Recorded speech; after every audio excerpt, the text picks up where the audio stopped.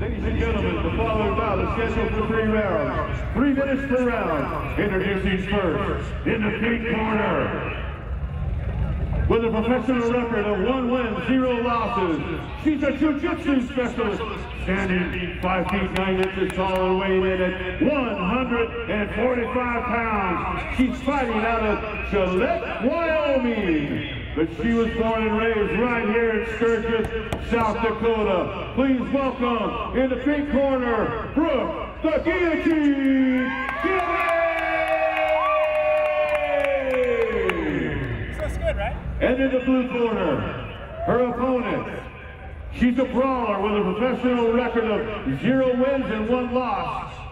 Standing 5 feet 4 inches tall and weighing 140 pounds. And fighting out of Sturgis, South Dakota. Ladies and gentlemen, Shelby the Panther